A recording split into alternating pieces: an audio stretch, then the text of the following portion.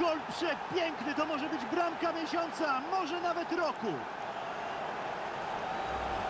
Ależ teraz kopnął bez przyjęcia z pierwszej piłki. I od razu bramka. Znakomite podanie, grzechem byłoby tego nie wykorzystać. No i popatrzmy na ujęcie z innej kamery na tę bramkę.